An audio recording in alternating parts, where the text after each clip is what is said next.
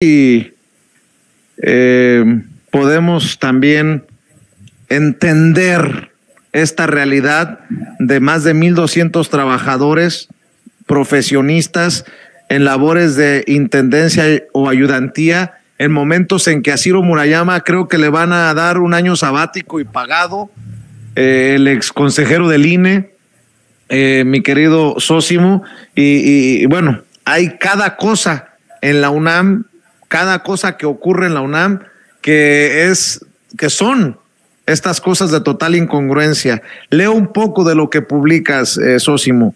Más de 1.200 trabajadores de 56 profesiones, entre ellos abogados, ingenieros, médicos, matemáticos, químicos, físicos, están contratados en la UNAM como peones personal de intendencia, vigilancia o en labores de ayudantía.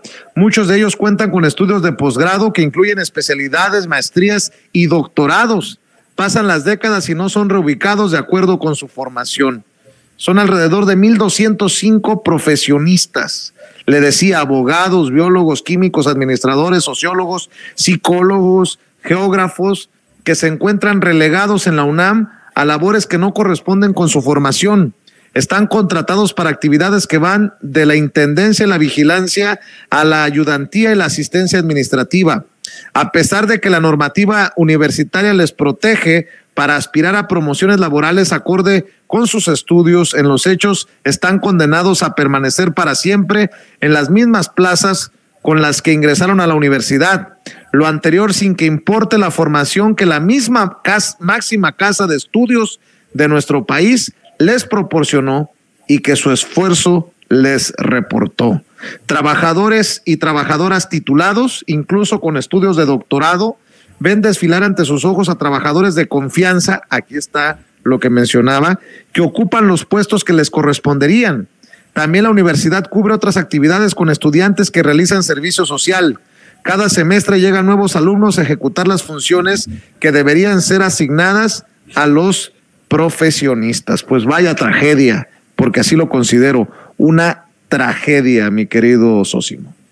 Pues sí, Vicente, y es que es parte de estas irregularidades que abundan en la propia UNAM, en la propia Universidad Nacional Autónoma de México, y que te comentaba, pues no se trata de cinco casos, de diez casos, estamos hablando de 1.200 casos en los que no se está cumpliendo la normativa, porque ojo, también ellos tienen derecho a que se les eh, contrate en las actividades para las cuales están capacitados. Y tampoco es un asunto de presupuesto, Vicente, porque eh, prácticamente hay eh, oficios o hay actividades que tendrían que estarse cubriendo y lo hacen entonces con trabajadores de confianza.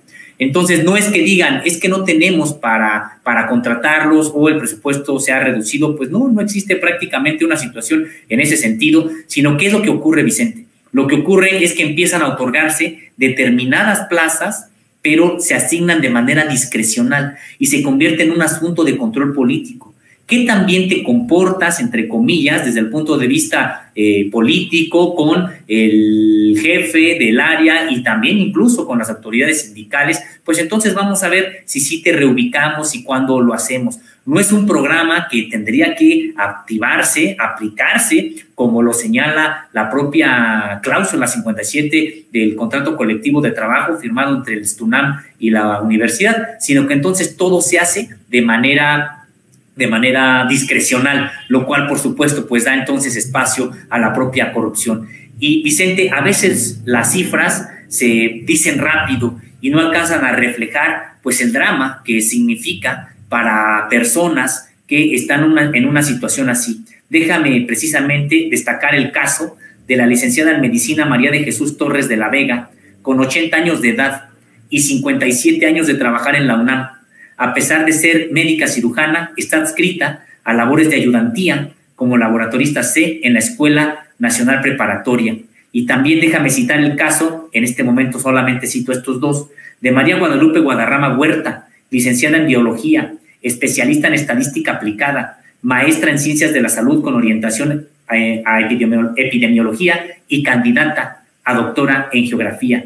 Cuenta con 62 años de edad y 42 de servicio en la UNAM. Está adscrita a labores de analista C en el Instituto de Investigaciones Económicas. Es decir, Vicente, pues incluso son personas que han adquirido una formación importante. En el caso de, de Guadarrama Huerta, pues incluso está próxima a obtener un doctorado. Cursó la licenciatura, cursó, tiene una especialidad, también cursó una maestría, está próxima a obtener un doctorado, cuenta ya con 42 años de servicio en la UNAM y no obtiene pues una función eh, porque prácticamente para ellos está vedados. No los incorporan a labores de docencia, no obstante la preparación que tienen, no los incorporan a labores de eh, dirección, eh, de jefatura, de alguna, de, sección, sí les dan algún tipo de jefatura, pero son cosas muy, muy pequeñas, muy básicas, no de una división.